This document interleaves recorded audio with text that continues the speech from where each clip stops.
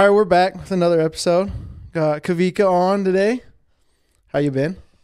Been good, man. Just hanging out, you know, living life. Oh yeah. Let's bring it up just a tiny bit. Oh, right there. Yeah, there you go. Okay. Something like that. So uh you recently had a baby. How's how's that going? Dude, it's going great. Um, she just turned five months like about a week ago, and I mean, it's hard, but it's also like 100% worth it, you know? Oh yeah. Like the good definitely outweighs the bad for sure. Oh, for sure. And like I've talked about it a little bit on other episodes, but like the bad is like I don't know about you, but like little like depressed and stuff, like not about the baby or anything, but like I'm like I want to provide so much for this little kid, you know, and it's like yeah. especially like we were kind of talking like the price of everything's crazy right now. Oh yeah, dude. No, definitely. There's always this I don't know, like getting married is one thing. It's like you and your wife. I mean, you guys learn you guys kind of learned how to do it on your own and so it's like Uh-huh. you guys just meshing those areas, it's like it's easier. Uh-huh. But then once you bring this whole new being, it's like geez, like you literally got to teach them from the ground up Mhm. everything that they know and provide everything, you know? Like Uh-huh. doctor bills, food, clothes, everything. And so, I mean, yeah, like you said, prices are going crazy over here spending 35 bucks for a week's worth of food, you know? Yeah. So, but I mean, like I said, the the, the good out, definitely outweighs the bad. Oh, for sure. And it's kind of crazy the prices of stuff going up in Utah. Like, I went to the store the other day and bought four things, and it was like fifty bucks. And I was like, "Holy!" I didn't know I was living in California, Dude, Walmart is jipping us, man. dude, for real. But uh, what's one of the biggest hurdles you've learned as being like a new father, as of late? Um, I think honestly, just just knowing where I fit in to like Uh-huh. the whole to my role, you know, because it's like at the beginning, there's only so much you can really do as as the father, you know, like the mo- mother she feeds her, the baby's like already attached to her, Mm-hmm. and I mean I don't know how it is for you, but our baby she will not go to sleep with me. Oh, really? Like I can try and put her down for naps here and there, Uh huh. and sometimes she'll like me, but at night she knows it's go time with mom. It's not there's no nothing with me. So I don't know, just inserting myself in certain areas where uh, I can be useful. That's cool. Yeah. That's awesome. That's like that's one of the toughest things we're going through is like recently had like a little schedule change and stuff and I used to put Ezra down for bed every night and now he's having to be put down by um, Drew every night and so he's hating it Yeah. right now but so it's just kind of funny like all the little things that you don't think matters to them and they've already picked up on and Uh-huh.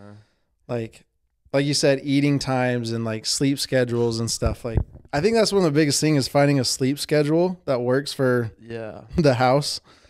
But How do you guys kind of have it right now? so we kind of have it like it's kind of tough. We try and put them down around like eight, eight, nine o'clock. But there's it's a key word on trying because some days he does not want to go to bed and That eight to twelve window right there. yeah, for real. Cause like you're like, oh, we're gonna get him to bed, put him in his crib and everything, and you put him down and he's right back up, and Mhm. that's one of the hardest things. We'll we're trying to like get him to sleep on his in his own crib lately. We've kind of been bad and been having him sleep in our bed, Oh yeah. but um, yeah, I don't know. That's that's tough. I don't know how people sleep train. it's hard, man. It's definitely hard. How do you guys do it? So we, so my wife will try and rock her to bed usually around like nine to nine thirty. Uh huh. Cause before, she would like, we had it to where she was going to bed at like 11, 11.30 Uh huh. and she would sleep through the night till like nine, and we're like, sweet dude, we'll just do this every time. Uh huh. But then as like you get on and get going, and it's like, well, it hits eleven, and then we have no time for each other. Uh huh. And so it's like, frick, let's try and get her on a better schedule. And pretty soon, like she's, we're gonna want her to be going to bed at eight or nine. Uh huh. And so it's like, just kind of bite the bullet and hope for the best. So we're trying to switch it up right now, and it's it's been working slowly. Oh yeah, that's awesome. That's what we've kind of been doing, and like that's one thing I didn't know is like sleep regression is such a big thing. Like soon as they hit a certain age, they just don't want to sleep or like wake up throughout the night, and Mm-hmm. I don't know what it is, but It's it's tough. Little crackheads, man. That's what it is. Yeah, for real.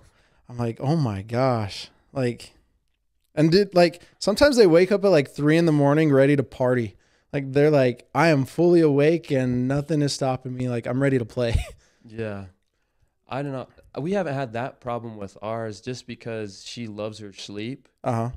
Our thing is with her, it's like she's ready to party throughout the whole day. So she'll take like 10, 15 minute naps. Oh shoot. So she- and then she'll be right back up, like ready to go and screaming. And she's got a little attitude already. dude. Really? Like her, it's crazy how they develop this personality so fast. Damn. But yeah, so that's our issue. So she loves sleeping at night, but miss her with a nap. Yeah. Naps are naps are pretty pretty important, I think. Oh yeah, That's uh my time to like chill and that's when I fit in my nap. bro. But um yeah, like when he takes like a 20 minute nap, I'm like, "Oh dude, come on." Like I was not Yeah. ready for this. Yes. But that's one thing like I wasn't ready for as a parent is or like even as like an adult cuz I feel like me and like you we, we've have we're having kids pretty early on in life. Yeah, for sure. And so it's like, damn, I still haven't even like grown up. So I'm growing up with the child and like Yeah. my wife and we're like still growing up and then growing up with him and like everything's changing at once and it's it's a cool experience and uh I saw a thing it's like man you you always have a certain love for your first kid Mhm. because you grew up and like they were there through your growing up as well. Hundred percent. Are you? So are you the oldest in your? Yeah, See, like you know how it is. Like you feel like you've gone through Mhm. all the rough parts with your family, and all your younger siblings just had it easy. You know, like oh, Uh-huh. you don't know how this was. You know, back then when we had nothing. You know, Mhm. and so I feel like it's the same way as a parent. Like you can kind of just see the progression. Yeah, you're seeing like the other side of things. Right. you know because like you're hard on your parents and you're like oh yeah like how could you how could you do that or whatever but now as a parent it's like oh wow like they're really just learning through it too you know Right. Yeah. especially uh some of those high school phases and stuff like i'm not ready for that like that's gonna be wild i think yeah. Yeah. but uh how uh how is it being like a girl dad are you ex- like dude it's it's fun you know like obviously i mean i wanted a boy but i don't know i just feel like there's this this a, a different kind of love you know for my for my girl already overprotective mm-hmm um but it, i mean it's fun like i'm i'm excited to i don't know be a protector for her and just kind of be an example of what she should want in a man for the future oh for and sure so, I mean, it's definitely like just leveling up, you know? Yeah. Like giving me that push to do better and be a better person. So that's kind of how I felt. Dude, for real, like that was a big thing for me when I found out Drew was pregnant with Ezra. I was like, I gotta be so much better. And like it's not like I was even in a bad spot or like anything, but I was like, I need to like strive to be better. Like I feel like I wasn't where I should be Right. to be having a kid. So Mhm. like getting your mental right, your like body like right and everything, and like kind of just pushing your goals on every front. Yeah. I don't know if that's how it was for you. No, definitely. It's like, I don't know. I feel like just growing up, I always had this preconceived notion. It's like, all right, I'm going to be like this. I'm to have everything together. Once I have a kid, I'm to be making dough, have a big old house, and everything's going to be set. Uh huh. and then very rarely does that happen for everybody even if you have all those things it's like it's such a 180 360 twist Uh-huh. where it's like you're never going to be 100% ready so it's like i don't know a little give and take Yeah, for sure. And like I feel like it's kind of hard for like parents that like you need the dual income because like Mhm. one needs to stay home and then like how how is that for you guys, you and your wife? so our my wife she works from home which has been like a real great blessing for us she got like a gig with an airline Oh, that's and awesome. So she's been able to do all her stuff remote, and I mean it's not ideal at the moment, but I mean it helps pay for stuff while we're just figuring things out. oh, for sure. But yeah, I hope I can land a job to where it's like she doesn't have to work, or if she she can have the flexibility to be like if she wants to work, she'll Uh-huh. work, you know. Yeah. But I don't know. What what field are you going into? I knew you're I know you're going to school at BYU. What uh what kind of field were you going so, into? Um, yeah, I I just graduated this last December um, in construction management. Congrats, dude. That's that's awesome. Appreciate it, dude. Yeah, it was it was a grind, man. It was a grind. I bet. I heard BYU's pretty damn tough. Yeah, dude, and especially like as student athletes, I don't know. We would like we would get guys that transferred in from other schools, and they'd be like, "You guys actually do your homework?" like, well, yeah. What did you guys do? Like, oh, we we had tutors, we had this and that. They were doing everything for them. I'm like, you guys got to be kidding me, bro. like my first semester there, dude. Oh my gosh, I was like, what even is this? It's like, and I had two classes. uh huh. And then I was like drowning in homework. I'm like, are you guys serious? Like this is how the rest of my career is gonna be. But Uh huh. I don't know. You finally meet people. I think that was the biggest thing that helped me was just meeting a bunch of people that could help me Mm-hmm. and just learning all my resources. But yeah. Sorry, what was your question?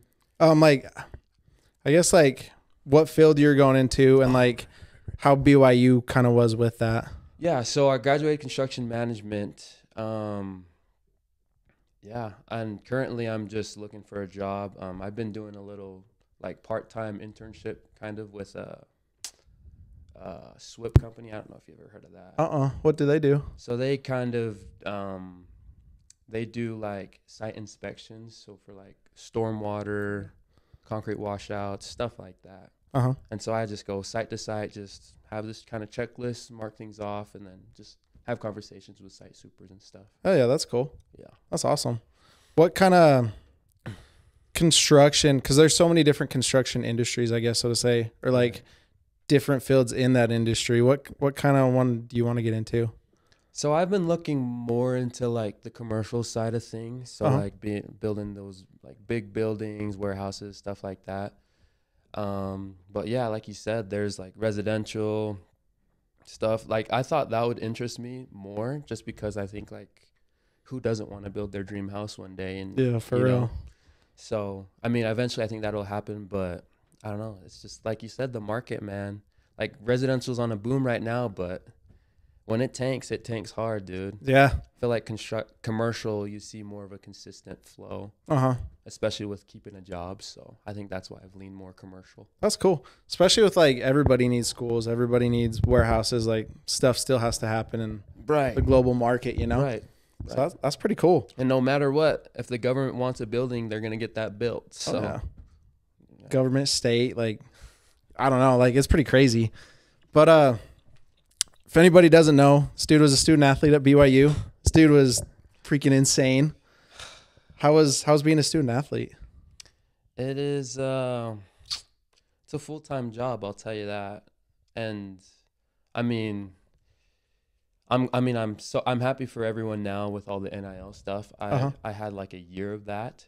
Oh, which that's was nice. like dude, NIL makes such a big difference, bro. Really? Yeah, cuz if you think about it like those guys that are on scholarship are getting what, maybe a grand a month Uh huh.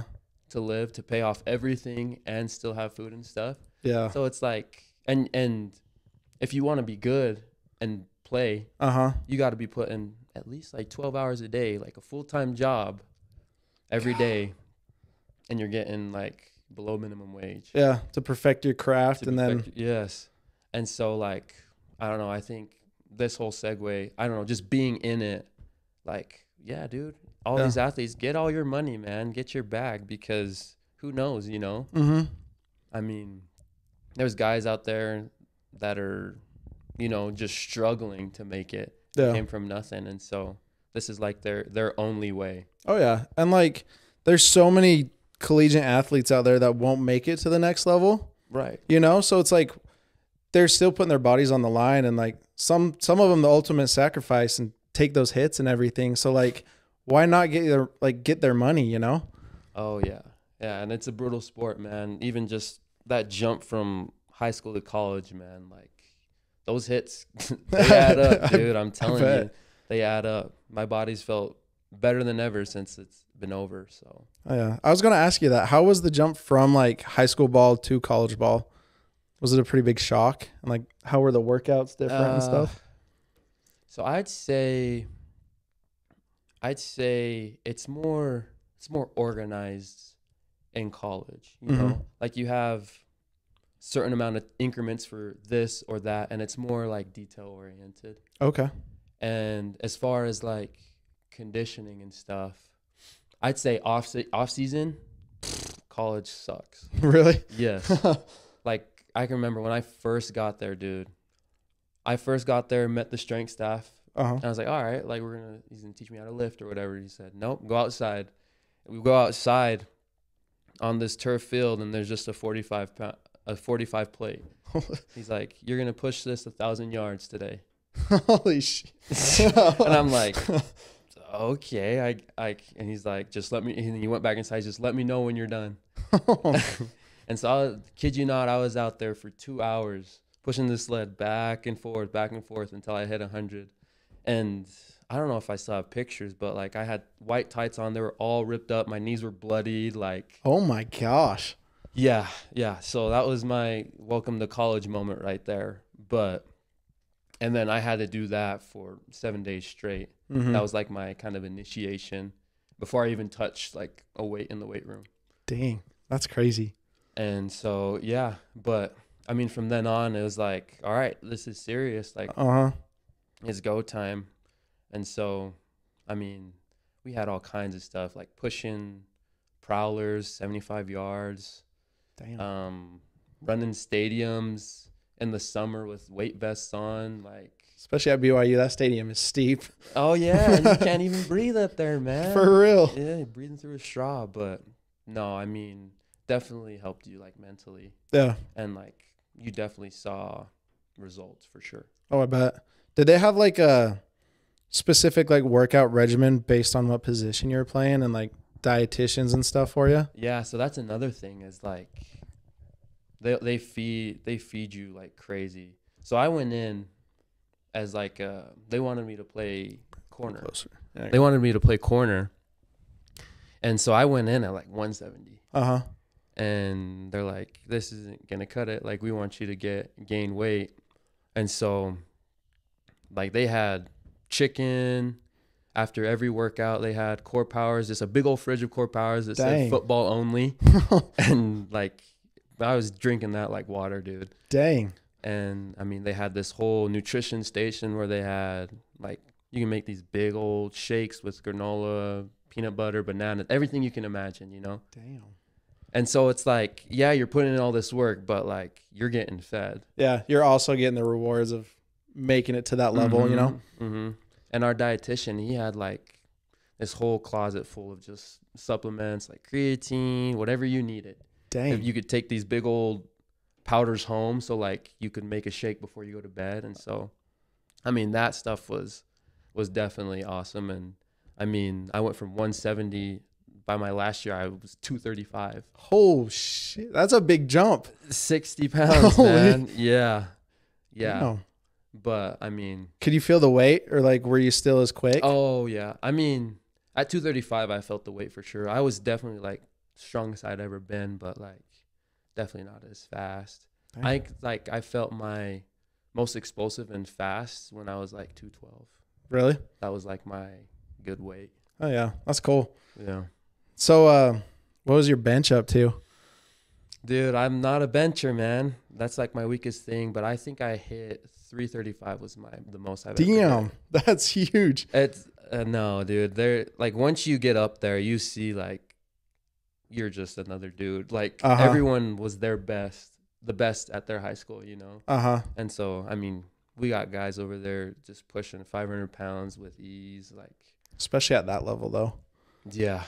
And, Yeah, like, that's a crazy- lineman. That's the crazy thing is like 315 is so like top what like 0.5% of the population, you know? Yeah. But then like once you get into that population and you're around those people, you're like there's so much more to do. like oh yeah, dude, for sure. what was your best lift? Uh, squat by far, dude. Like I don't know what it was, but I just had in my head, I'm like, every time I would max, it's just like, dude, all you're doing is you just gotta stand up. Uh-huh. So I would just tell my that just stand up, and I don't. I want to say I hit like five five oh five or something. That's either, yeah, no, it was it was a big number, dude. But yeah, I'd say squat. I'd say squat, then power clean, then uh, bench. That's awesome. Yeah. Damn, dude. What was that's one thing. What was the like mentality like in the locker room and like in the gym, I guess? Like I just watched that Florida documentary and it like Mhm. did you have that one dude in the locker room that changed the mentality when he walked in, I guess? Um, I don't know. I think I think it was just all of us collectively. It's it's crazy when you watch documentaries and like you hear guys from other schools come in Mm-hmm. because like yeah, it's competitive at BYU, but it's more like family oriented oriented. So it's like everybody is doing it because they love each other and like they want everybody else to do better. So it's not really like I don't know, you don't really get those guys that are just kind of like pricks. Uh-huh. And so I think in the locker room like we were all everyone was homies with everybody. That's cool. Yeah. Yeah, that's what I miss the most, honestly. Is just that locker room. Like and like everyone's competitive, Uh-huh. but it's like it's like a cool competitive where it's like doesn't get too serious, you know. Yeah. Like you're pushing each each other for like the betterment of each other, not I'm gonna be better than this guy and push this guy down. I'm gonna take his spot. You Uh-huh. know, it's like we all had the understanding like the best is gonna play, Yeah. and like you you just try and fit where you fit and just do your role and continue to get progress. See, I think that's the best thing to like to be in that mental space. Be like, okay, we're all gonna try our best, and the best is gonna make it on. Not Mhm. like I'm gonna find a way to knock this guy off to get on. Right. If I guess I don't know. I bet there's a better way to say that, but No, no, definitely for sure. you know, especially as a team. And I kind of talked about that in one of the last ones. It's like I definitely didn't get the the college like com- camaraderie of a Mhm. football team, but like I had that like my whole life growing up and stuff. And it's like once you get out into the the real world, you know, and like into job spaces and stuff, everybody's stabbing each other in the back for like pennies, you know. Yeah. And it's like it's hard to find that camaraderie and that like brotherhood, so to say, you know. Yeah. I think that's why I kind of gravitated towards the construction industry, you know, because I mean, you guys have to work as a team to get this project done. Mhm. So it's like you can stab each other in the back and but that's going to hurt all of you guys in all your production at the end. So Yeah. it's like it's either do that or you guys work together and you succeed at the project and then everyone, you know, gets a raise. Yeah. I don't know. That's just how I see it. Yeah, that's that's how it should be. Yeah. And like that's the one thing I've noticed is it, it's so tough to find that. And I don't know. That's why I like I try and like reconnect with people, like try and get go to the gym with people as much as I can or like I don't know.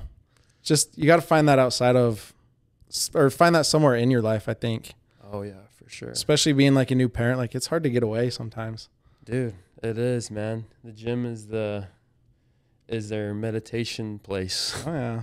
Helps me keep me sane. Oh yeah, for sure. But uh I see you there with your brother all the time. How's he doing?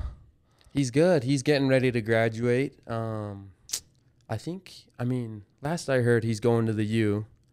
And so Damn. he's just going to go I don't think he's going to try and play this next year.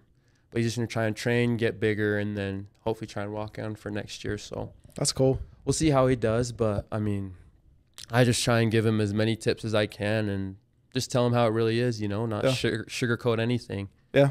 And so we'll see. You got him on your training regimen you were on? A little bit, yeah. I try. I mean, I mean, yeah. Some of the stuff that we do, I definitely have shown him, or like just little technique tweaks here and there that can like up his weight. Uh-huh.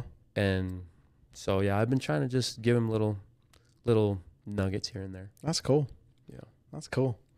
Um what's what's one of the things you're excited for as being a new parent? One of the things I don't know. I I think I think each step I don't know. Each step kind of excites me for different different reasons. Like right now, I'm excited for when she can just talk and say my name. Mm-hmm. But as I look towards the future, like I'm just excited to know them as a person and know who they're gonna be and what's gonna make them tick or what's gonna make them happy and you know what are they gonna like to eat you know stuff like that Uh-huh. so i'm just excited to see like what type of person she'll turn out to be That's pretty cool. yeah How many do you guys want? one right now.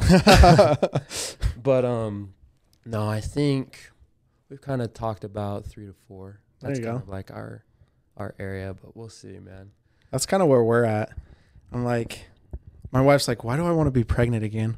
I'm like, Yeah. in a way, yeah, I love the new baby, but I'm like, damn, that's crazy. Let's wait a little bit, you know? Yeah. Like we were talking about that a little bit today. I was like, let's let's try and get set up a little bit and like plan the second one a little bit better hmm for sure. How was that whole uh, journey for you guys? Like just with pregnancy, like It was pretty rough for her. She was pretty sick the whole time. yeah, And like I feel like that was tough on her. Tough on me because it's like I don't know what to do. I don't know You how to do help. What do you do? You Uh-huh. can't do nothing. It's not like you can take the pain away. Like, uh-huh. You can only grab so many pillows to make them comfortable. For real. So Ask how what they want to eat so much, you know? yeah, but Damn. How was it for you? um, for us, so it was like she was throwing up a lot at the very beginning, Mm-hmm. And I was just like, I don't know what to do. Like, try and feed you something, you throw it right up. Um, you know, drink some water, I guess. but I think towards the middle, like it, like she hit a good spot where she was like doing all right, and then towards the end, it's just like she's just uncomfortable, uh-huh. and you just like just ready to get the baby out. oh yeah. And so I think it was pretty, from what I hear, it's pretty normal symptoms. But I mean, it's tough. Like for like I uh, kudos to women, bro. Like Dude, they they got it they got it tough, man. I couldn't put my body through that. So For real. And then all the challenges and hurdles they go through after having the baby and like yeah, dude. mentally, physically, I'm like, I don't know how y'all do it. And Yeah. want to do it again.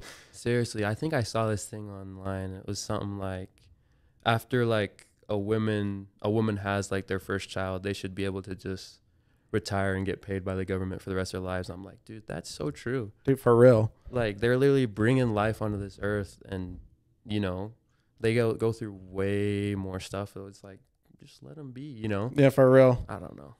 I feel that. And it's like you want to help him as much as you can, but then you're I I don't know. It's it's pretty tough. And like even now when he's 6 months old, it's like you're still kind of dealing with some of that stuff. Like you got to go to work and it's like, "Damn, I wish I could just spend time with you guys, like help you out Mhm. throughout the night or throughout the Mhm. day and like I don't know. That stuff's tough. And then like getting back to who you were and who you are, like Mhm. trying to find like the job field and careers you want to go into and like Right. because especially with construction, some of those hours are pretty crazy, you know? Yeah.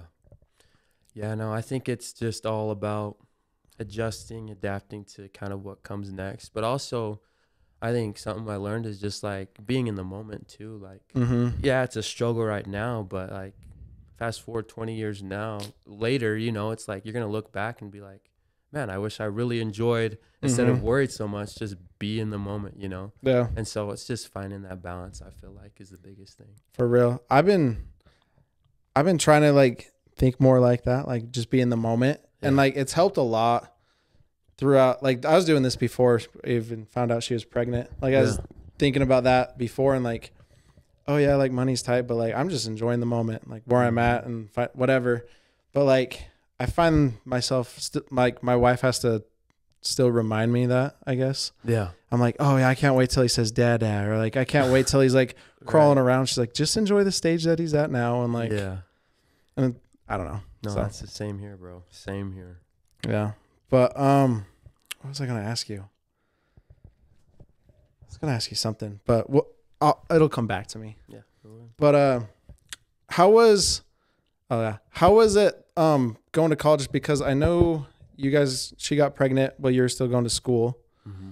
How was that journey? And like, were you still living on campus? Were you living back here with like? How was that? Yeah. So that that whole time was kind of crazy. It's crazy you asked that, but um, so at that time it was probably like January of last year, and I had just gotten off of my second injury, and so it was like just a whole lot of changes were happening in the locker room.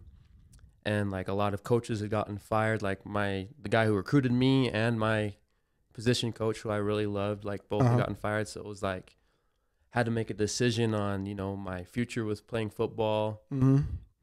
Whether I continue to play and then like I have to go to school for like an extra semester, or Mm-hmm. if I just cut it now, and then just finish out my semester Yeah. in the next year. And then I guess the answer kind of came and well, your wife's pregnant, so it's like you know I got to get my. It was just like that realization, like you you got to get it together, like Yeah. it's now or never. So obviously, like my career got cut short. I just medically retired, and then yeah, we just prepared for the baby. I got an internship, was working, and just finished out December. You know, getting my degree. But I mean, once we found out um, all this, I guess our comp we were living out in Provo, Oh, and our complex something had happened, but our complex was having other people look at our place and basically saying like we're done at what the I heck? remember if- yeah, I don't remember if it was June or July, one of those months. But like, pretty much we were done, Uh huh. and so like we just had to find a place, and so we ended up moving out here with in-laws, and that whole last semester I was traveling Oh, all the way out to up- Provo every day. Every day, man. traveling up there, working, and then would travel back. And I actually helped the high school coach too. Damn. So like I was, it was busy, but like I don't know, I I like busy. I I, I, like stuff to do. You know? I need busy. Yeah. So I, I like I don't know. I feel like I grew a lot and was definitely super tired, but I don't know. It was it was fun. Yeah. So that's kind of to answer your question. That's kind of how it all went down. Damn, that's crazy. Yeah, That's a long drive too. dude. I, I still do it though. Oh, I you. still do it like once or twice a week, just because I do sites out there in hmm Utah County. But so I mean, I just accepted that everything is far from Stansbury and just, Oh yeah. Just put on a podcast and just freaking zone out. Drive away. Yep. What podcast do you like to listen to? I What's your go-to? I trans I transitioned for from a couple. Like I listened to the I don't know if you heard of like the New Heights one, Uh huh. Travis and Jason Kelce. So I listened to that one, and then I listened to like Shannon Sharpe has one, like a nightcap one. I'll listen to that, That's a good one. and then I listen to like Theo Von every now and then. His is always good. I don't know. It just depends on my mood. It's it, it's it's crazy. I've been I think I recently started listening to a little bit of of Andrew Schulz. I think. Oh, flagrant. yes. Yeah, that one's yes. funny as hell. That's one of my main ones I like to listen to. Really? Yeah. You heard the one with? I just listened to the one with like Jason Williams, the basketball player, the other day. Oh, I haven't listened to that one yet. That's one I've been wanting to listen to. yeah.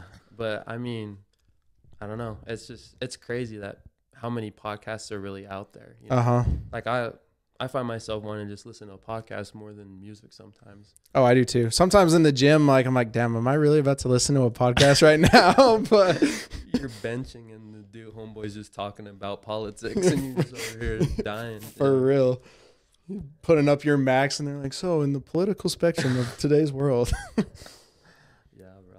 that's crazy. And like, I don't know, like doing my podcast, it's funny because like I, I love podcasts so much and listen to them. It's like you find yourself trying to like, I don't know, trying to mimic some of theirs a little bit. Mm-hmm. and uh it's just it's kind of a cool experience and like you kind of appreciate podcasts more when you try and do them Oh yeah, definitely. like especially flagrant i don't know if you've seen it but they have like the whole set and everything and like Yeah. obviously he's a famous comedian and stuff but that's pretty cool Yeah, and they just have I don't know. It's like they have like five different dudes that are there every time, and they mm-hmm. it just flows so natural. Like they just bounce ideas, and it's just like conversation just flows, and before they know it, they've been talking for two, three hours, uh-huh and you feel like as a listener, you're like in the room, just like yeah, agreeing or like what are they even talking about now? you, know? start responding and stuff and yeah that's the best part about it i think but yeah, dude, podcasts are where it's at, man. yeah they pass the traffic like when i'd have to drive to salt lake i don't even mind it sometimes like if you Yeah. get caught in traffic it's like oh i'm just gonna Just flip it on. yeah so Are you working in Salt Lake mostly now, or So I'm actually out at Cabela's right now as a maintenance tech. Cabela's? So Cabela's DC, it's um by the Army depot. oh, just out here in Tooele. yeah. Okay. So it's pretty cool. Yeah. But that's the one thing I've learned, like you bounce around so much. Like I thought I'd like find a job and like chill at it and like that's what I do. Mhm. But you bounce around so much as an adult. Oh yeah, dude. Like when I was in school, when I I, I went to Slick, I was like, oh yeah, like I'll just find my one industry and stuff. And but you get into that industry and you're like, oh, I don't want to do this anymore. Like Mhm. it's completely different than what I thought. Mhm. Or you just find out there's like millions of different things that have to do with this industry, and it's not just one set thing, you know. Yeah. So like I could go into construction and then end up being like some law person in construction, you know. It's so it's I don't know. I think that's what makes it kind of exciting. You just never Mhm. really know where you you could end up. Yeah. You just got to get in where you fit in, I guess. Serious. But um, you went to BYU. Mhm. I have one question for you. Think you already know, but like, you did you know anybody that was uh soaking out there? Um, not ne- like, this is a dad podcast, so you know we've Yeah. we've been through it, but soaking. I mean, I I guess here's the thing: is like at BYU there's like there's like student athletes, and we kind of just hung out with each other. Like uh-huh. it sounds weird, but like we didn't really hang out with main campus. Like Uh-huh. there- there's just like I don't know, it's just different kinds of people, and so those different kinds of people, for sure, I could see them soaking. but as far as like I knew, or like other like some of the guys I knew, like they weren't really into that. Into that. It was all kind of just like a stigma or whatever. But yeah, yeah, I never, I don't know, I never really participated in that. Yeah. But I mean, to each his own. yeah, for real. Like if that's what you got to do. Uh, But like I, I always just wondered that because I was like, damn, like is everybody out there just really just doing that? Like I don't know how it's I mean, from my small circle, we weren't doing that, but who knows, man? Mm. There's a lot of stuff you don't know is going around out there. So that's funny as hell. Especially with like how busy you guys were. You know? yeah, Like you don't have time to hang around campus and everything. yeah, and it's like we had so many guys that were from like out of state and stuff, and like, like if they were gonna do something, they would just do it. They wouldn't even like Uh-huh. go halfway, you know. uh-huh. And that's kind of how I would see it. I'm like, if you're gonna do that, like, might as well just go all the way in, bro. you Like, might as well just fucking do just it. send it, dude. Like, you're already in too deep, Uh literally. huh. So- Literally balls deep. So just finish it off and go. You know, I Yeah, don't know. that's funny. So kind of going on that, how was when you guys would have people from out of state come in? How was their like culture shock to living out in Provo? Uh, Were they culture shocked at all, or yeah, really. no, definitely, definitely culture shocked, and I don't know. I feel like they adapt. Like it was, a, it was, for the most part, it was like a good culture shock for them. mm-hmm. you know, because a lot of these guys, like, they were just used to like partying or, you know, just having fun and going to college for fun. And BYU, like, if you want to have fun, I wouldn't go to BYU. uh huh, Like, if you if you want to get stuff done and like get a good degree and get a good education, go to BYU. uh huh. If you're trying to have fun, man, go UVU is right down the street. You Oh yeah, So, but I think a lot of these guys like they they refocused, and obviously like there were parties and stuff and whatnot, like small ones here and there. But I think it's like you see it kind of nowadays. Like a lot of these bigger guys, it's like a good bounce back school where they can like refocus uh huh. and kind of just make it to the league, pretty much. Kind of hone back in, and Mm-hmm. Yeah. that's cool. That's like one thing I noticed because like I've never really been out there too much, but I went to a I went to a Vasa out there. I was like, damn, this is completely different from what I'm used to. Which Like- one did you go to? I think was it was the, the, Orem one? Uh, yeah, it was the, the Orem one? one. Uh huh. Yeah. That like TVs in the sauna. I'm like, this is so much nicer than I'm used to, bro.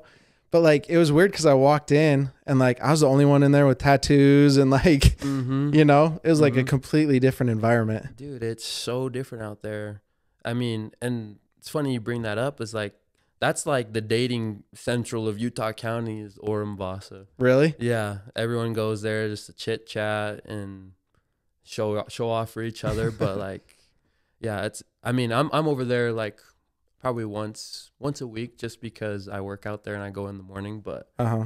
i mean yeah it's nice though it's huge Definitely a nice Vasa. Like Yeah. the weights are nice. Everything's nice. It's Yeah. open.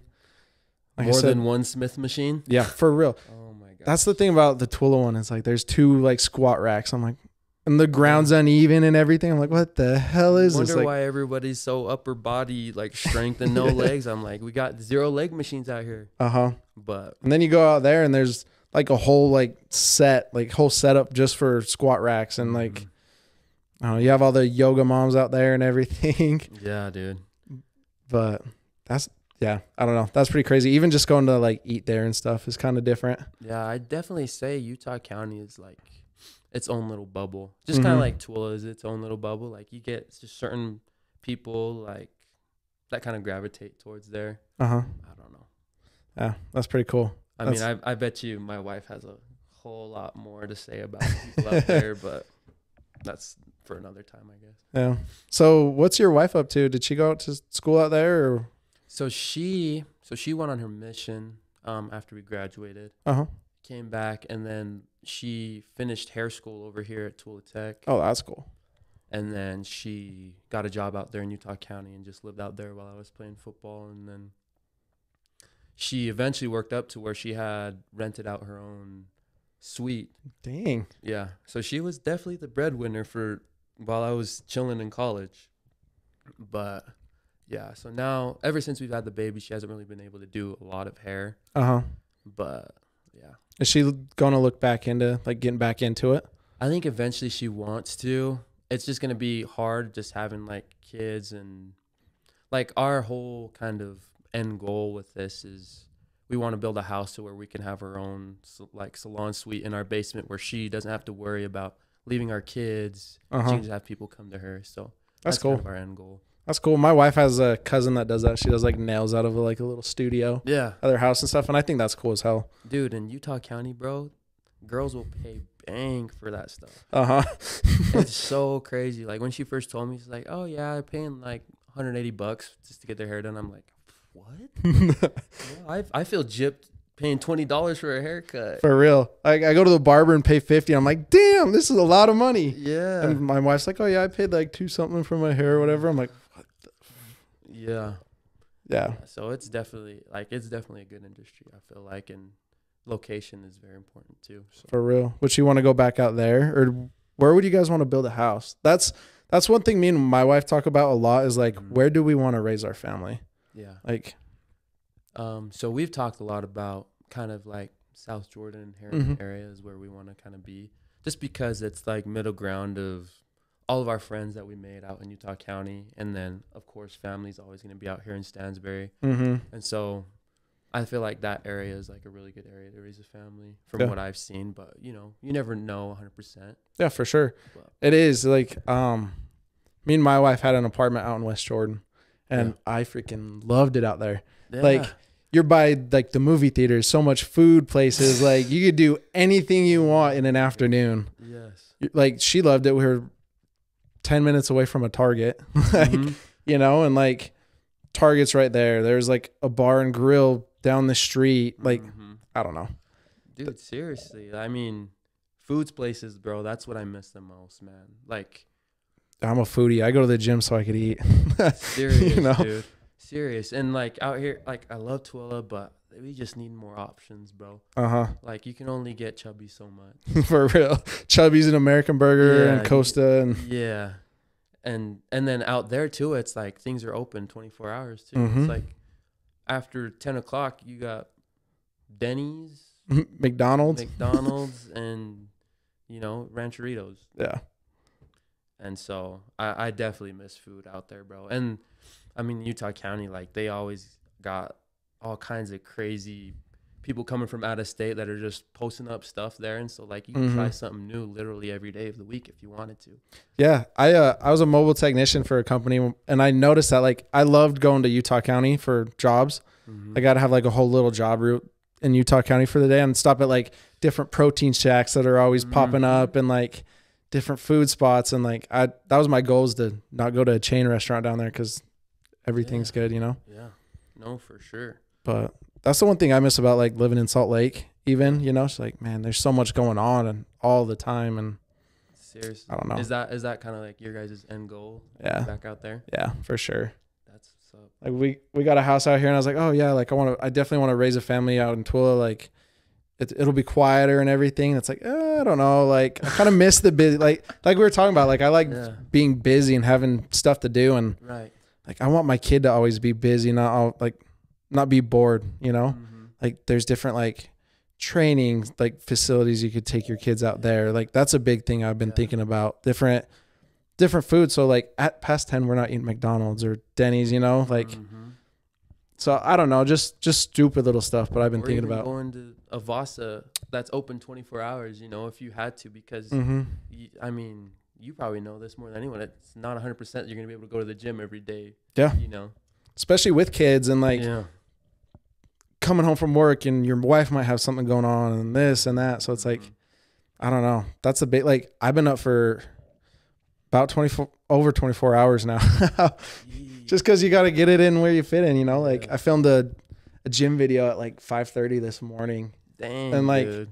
I don't know, you just always got to be going. So Yeah. like having that gym open 24 hours would be nice, you know? Yeah. Or like especially I want my kid to like come to the gym with me and like start doing little stuff here and there. So like having like we were talking about the equipment to like Mhm. you know know know the importance of not skipping leg day Yes, bro. 100 percent. you know so like just having all that stuff out there for them Yeah. i don't know i feel like salt lake a lot of those kids have a lot more of an advantage like with those Oh, facilities 100 percent. just just like the kids down south that are always doing stuff outside Yeah. that's that's another thing i've thought about i'm like damn should we go down to like st george or something Dude, St. George would be a dream, man. I think that's another place I could actually see us going to if like Herriman doesn't work out. But yeah, no, I I mean, when I was kind of helping coach, at least talking with my brother, I'm like, dude, the stuff I'm telling you, everybody in high school is doing it out there. Uh-huh Like they all got their trainers telling them the exact same stuff. mm-hmm So I mean, you can go ahead and like hang out do whatever you want, but like I'm telling you, when it comes down to it, there are other guys working ten times harder than you oh yeah all the time, mm-hmm and that's just in Utah. Think about bigger states, Texas, California, Florida. It's like vegas even like Vegas, yeah, like it's nonstop. If you want what you say you want, you got to show it and show up every day. mm-hmm So And like half of it's that mentality. Cause like even my senior year, you knew me. I was like, I didn't go to all the camps. Like I, mhm. I wish I would have like tried harder. yeah, like I, sure. I tried in the games, but the off season definitely I didn't try. You Oh, know? me too, bro. If I would have known the importance of like an off season, not even like it's not even that you have to just go balls to the walls all the time. It's just like being consistent, doing a consistent workout and Mm-hmm. I mean, I learned this in college, but just working on your craft day by day by day and just gradually getting better. You Yeah. Know? And so I feel like, man, if I would have, there's so many things. If I would have known in high school, bro, I'm like, dude, I would have had scholarships out of the wazoo. But For real. I mean, it is what it is, and it happens for a reason. Yeah. And that I, I guess that's one thing I want to like teach my kid is like, I think the biggest thing is consistency. Just Mm. in life, just being consistent. right. Like I didn't know the importance of it. Like consistency at your job, consistency at home, consistency with your mood. Like Mhm. when you come home, like if you're consistent in your mood and you're always like a good, happy guy, you know, like shit flows. If you come home all pissed off and this or that, or Mhm. let the day affect you, Yeah. you know, like it's tough, makes stuff tough. Yeah, no, for sure. I feel like, I don't know, for me, like, I definitely have a lot of work to do with it, but like, just trying to disconnect work life from family home time. You know? Mm-hmm.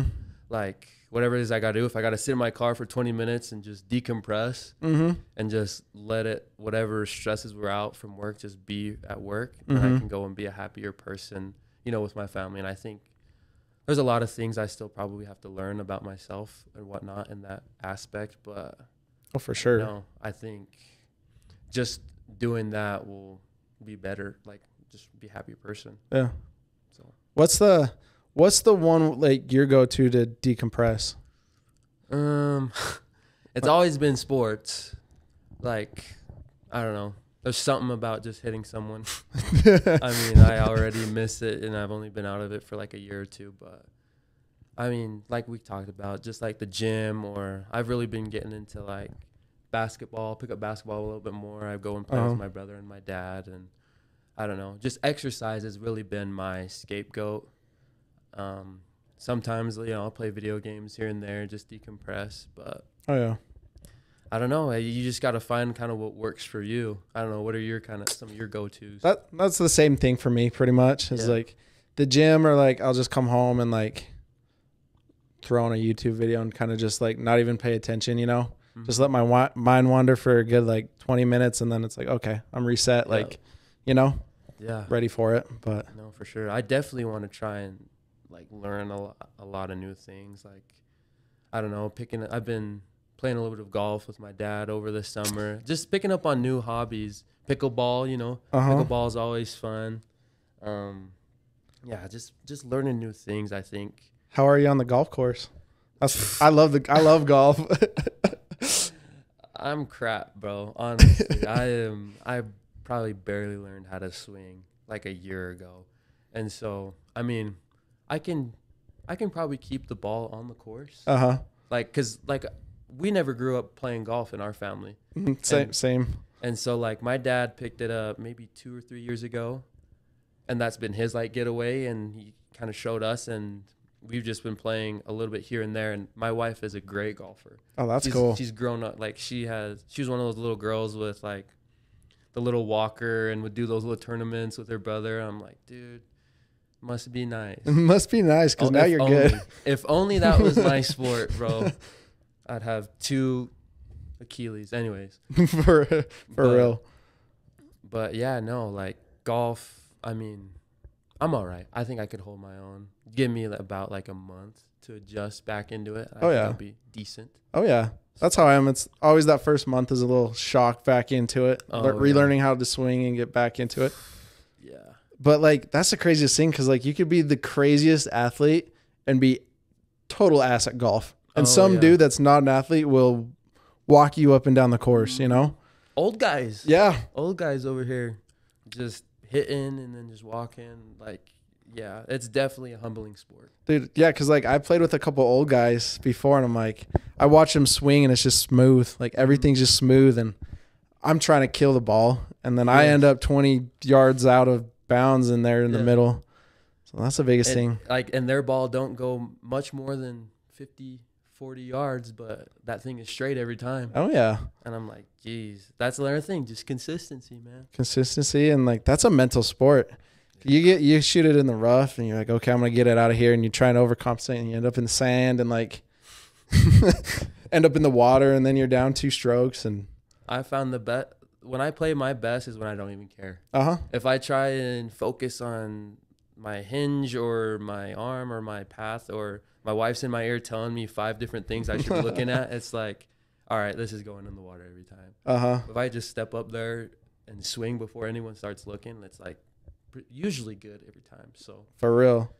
yeah, it's definitely a mental sport. Yeah, and then one thing that I've I've kind of applied from the like learning in golf to life. It's like when, man, when you end up in that rough, I take like a a safe shot back into play, and then like go from there and like lose just one stroke instead of trying to get it all back and ending up in the water.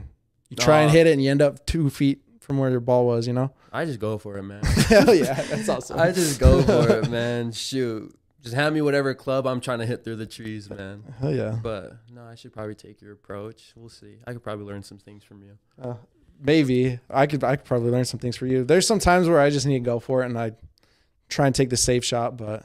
Yeah. that's my dad's golfed a lot of his life, so I've been trying to keep up and learning that like chess match with like stroke playing. Like, oh, I could give up a stroke here, or try this, or I don't know. How's your your dad? It has to be good. Oh yeah, he's pretty good. Yeah. He has a season pass, and he's there almost every damn day. You know, Yeah. That's But- the life, man. That's Oh, yeah. that's the future, man. I'm trying to be a golfer. that's what I'm trying to do is retire by fifty, and then just golf and Mm-hmm. hang out. You know, dude, I want to travel. Where Where do you want to travel? Like, where do you want to take your family? Me and my wife, we want to go. So I'm Tongan, Uh huh. and we've we've talked about it a lot. Like we want to try and make it out there before my grandma passes with her, and just so she can kind of show us like how life was, and I don't know, just see it. It's a beautiful place. That'd be cool. So so- she's out there.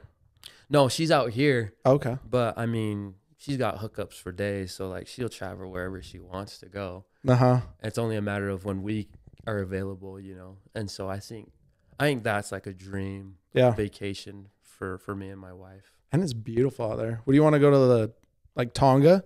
Mm-hmm. Yeah, that's cool. Yeah. Um, as far as other places, I think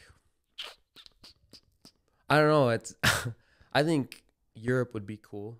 Europe would be so sick. Like- that's my dream spot. Really? hmm Like seeing the Coliseum. Yeah, I know.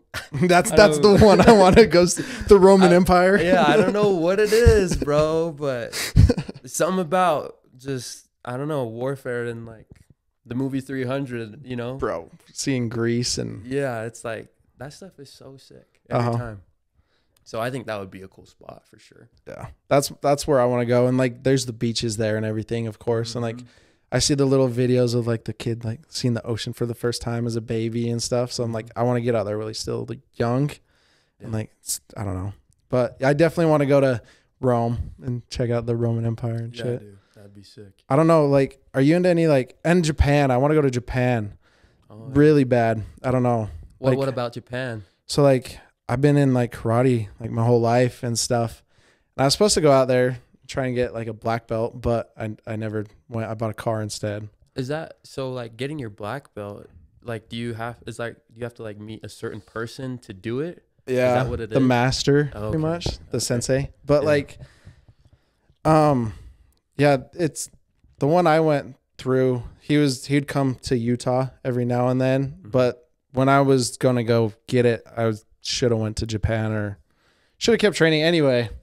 I want to go see Japan. Like learning a lot about that fighting style and learning a lot about like their history and like yeah. history that makes all of it and like I want to get into uh jujitsu and everything and like the different fighting styles and then I was into wrestling so you have a lot of that like the Greece and like Roman like wrestling I don't know like just all the history of it's pretty sick. Dude, you're MMA fighter, man. You got the best of everything.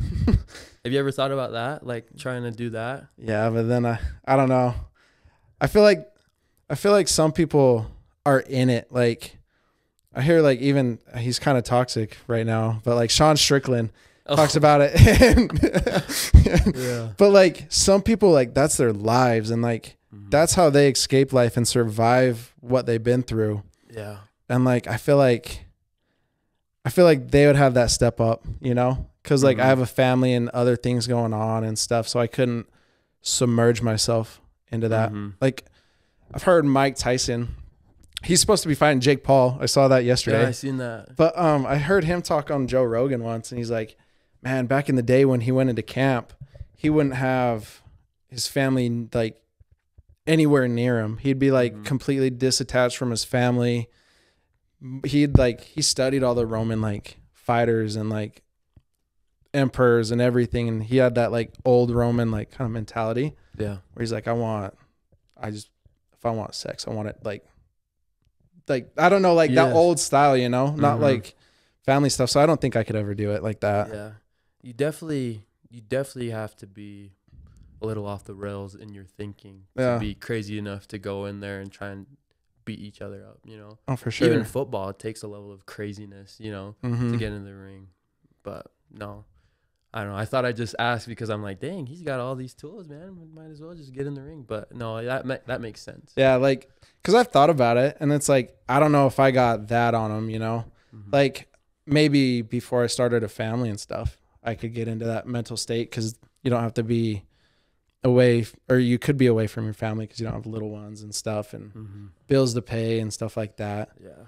So maybe earlier I I'd love to. Hey man, one UFC win though, dude. Dude, for real. I would love it. Like uh Sugar Sean and everything. Like Mhm. I don't know, he's kind of showing that like I don't, I don't know. Even getting, even if you lose, man, you're still getting the bag. Yeah. Uh Adesanya, Israel Adesanya. Oh yeah. He's like he was talking like he was working as like at a county for like the water department one day. He's like, I'm gonna fight. Like you could be whoever you want to be in this life. hmm So he just started fighting and built his way up just like that. Look at him now, dude.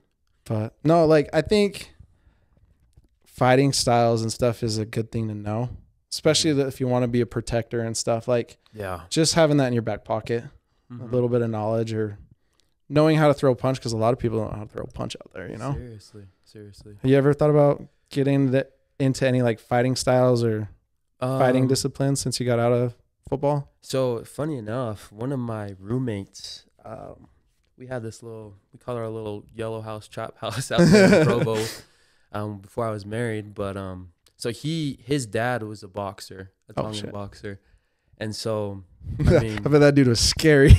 Dude, he's just some OG old dude, and you would you would never guess, but they he knew how to punch. And my my buddy who's on the team, and he's from California, but so like during COVID, we were still in that house, and like a lot of stuff was unsure at that time, and so we like obviously we wanted to stay in shape just in case we still had a season. Uh huh. And so I remember his dad would come over every weekend or like every two other two days. We'd just be doing boxing workouts, bro. Dude, boxing workouts are crazy. Oh my gosh. I never wanted to kill myself, you know, more than when I was doing boxing workouts. And like he'd always have us on these little circuits. So like you're either jump roping or you're over here sparring with him or you're doing, you know, ab workout or shoulder something. Uh huh. And we'd go for like 10, 12 rounds Uh huh. and so like i think boxing is something that i would probably enjoy I've thought about getting into that this last year actually. Finding a gym in Salt Lake and getting into boxing cuz like I got that karate background, some wrestling. And boxing is different, dude. Yeah Like I've I've tried to like mess around and like not f- like street fight but like put on gloves and like fight a a boxer. Mhm. Dude, they their movement is crazy. crazy Like it's a whole crazy different thing. yeah and i don't know my friend he's like he's like a he was our d line a d end Mhm. he's like 260 pounds but i'm like dude if i would not mess with you like you are a deadly because he's been training with his dad ever since he was young and Uh-huh. then he actually stopped football to be a boxer Really? so he's actually a a boxer right now like a amateur fighter right now Oh, that's cool as hell. but yeah, I mean, boxing, I, I don't know. I I had a hard time with it because I have bad shoulders, bro. Mhm. Like I don't know what it is with my shoulders. I'm pretty sure I have a torn labrum, but Uh-huh. who knows? But boxing is crazy. dude and like being like playing football and stuff you're like oh like can't be that hard a round's five minutes. And the professional level like a lot of the amateurs are like two and a half or three minute rounds. It's like oh come on like you could do that. But then you actually even just sparring for three minutes getting that adrenaline and dopamine hit yeah. like you go through energy so fast. even just holding your hands up like this for that amount of time, you get tired. uh-huh. And then you get hit once and kind of get shook and you're like Yeah. holy shit yeah, yeah. So That's- I mean, I definitely gained appreciation for that sport. yeah for sure Yeah. that's pretty cool dude Yeah. you think you're gonna try and find a gym sometime soon Uh, maybe not time, sometime soon out here. Maybe like when we move, mm-hmm. there's more. I don't know. I don't know. I'm sure there's not really much out here, Mm-hmm. but I mean, I'd like to at least dabble in a little bit. You Oh, know? for sure. I'm always keen to learning new things. That's cool. That's awesome. And like, you're a collegiate athlete, obviously. Like, I feel like you could pick it up pretty cool, pretty quick. Like, Yeah. I don't know, Allegedly. allegedly. Yeah. But um, anyway, thank you for coming on the podcast. Yeah, bro. I don't know how much time you got left, but No, thanks for having me, bro. I mean, it's been it's been awesome. I obviously, I mean, we kind of, I don't know if you know this, we go way back. yeah, Um, I mean, I lived in Stansbury a long time ago, and I was honestly gonna play. I know a lot of guys wide up with your little league gremlin team with your dad, oh yeah, and I know your dad was over there recruiting me, oh yeah. and so, but then we ended up moving. But I just know you guys from a long time ago, and obviously I went to school with your, your younger brother, Miguel, Mhm. so. But it's it's cool, bro. I like what you're doing, and I mean, you're putting on for for Stansbury, dude. Thank you. I appreciate it. And like that was like one of the biggest things was having a baby. It's like we went to high school and you lose touch with so many people. Mm-hmm. It's like I want to reach back out and like talk to people, I guess, you know? Yeah. Cuz everybody goes Mhm. down like so many different avenues in life, Mm-hmm. especially right out of high school. So it's it's kind of cool to reconnect and And see where stuff is gone. yeah, for sure. Yeah. And then like maybe go hit a workout here and there and like, yeah, I don't know. So, Yeah, bro. Just let me know, man. Yeah. Well, thank you for coming on. I really appreciate it. Yeah, I appreciate it. But um subscribe. We'll be back next week. Um peace. Peace.